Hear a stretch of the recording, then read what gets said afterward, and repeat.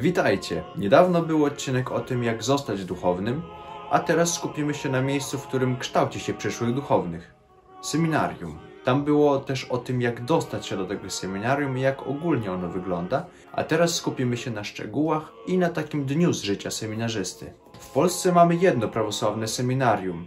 Mieści się ono w Warszawie, na malowniczej Saskiej Kępie. Ten przedwojenny budynek nie wyróżnia się w okolicznej zabudowie, ale dla większości polskich duchownych wiąże się on z na ogół wspaniałymi trzema latami życia. Trzy lata. Tyle trwa nauka w seminarium. Idzie się tam po maturze lub w późniejszym wieku. Pierwszy rok zazwyczaj weryfikuje studentów, jest ciężki pod względem nauki i dbania o kaplicę. Uczy życia we wspólnocie. Nic lepiej nie nauczy jak zapalać lampady, żeby nie gasły, albo jak poprawnie rozstawić obiad. Drugi rok to czas, kiedy życie seminaryjne jest już znane, na tym roku jest najwięcej nauki, ale też zwyczajowo wtedy, w dniu święta seminaryjnego wprowadzenia do świątyni Najświętszej Marii Panny, odbywają się święcenia lektorskie studentów. Jest to pierwszy stopień kapłaństwa niehierarchicznego, a mówiąc po ludzku, taki wprowadzający stopień. Pozwala on nosić sutannę i, między innymi, zobowiązuje do codziennej lektury Pisma Świętego. Trzeci rok to ostatnia prosta. Alumni głoszą już kazania i są po praktykach w nauczaniu religii w szkole. Zajmują się pisaniem licencjatu. Ważnym punktem są egzaminy końcowe, na których egzaminuje również zwierzchnik Polskiej Cerkwi. Jak wygląda typowy dzień w seminarium?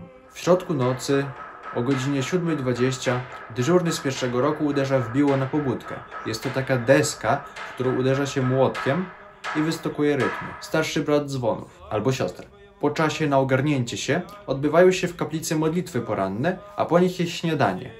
Potem idziemy na wykłady, a po wykładach jest obiad. Po obiedzie zwykle odbywa się jeszcze jeden wykład lub jest czas wolny, który trwa do kolacji, do 19. Po kolacji jest czas na naukę, sprzątanie i zajęcie się na przykład czytaniem książek.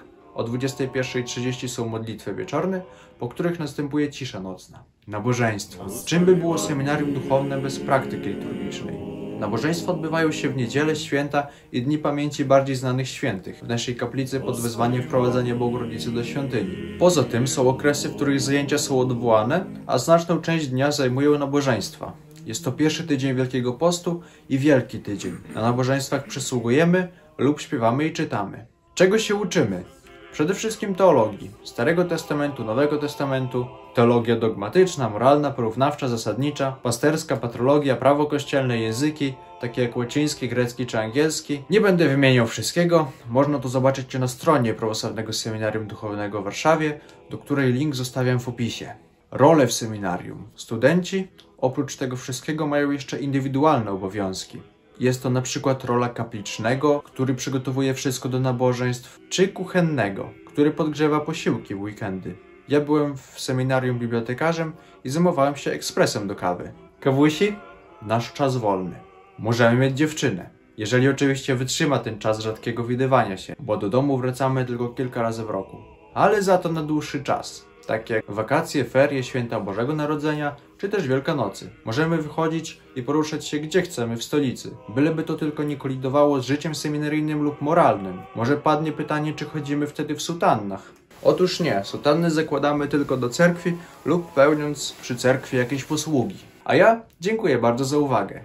Do zobaczenia w kolejnym odcinku. Zaraz się spóźnię na nabożeństwo.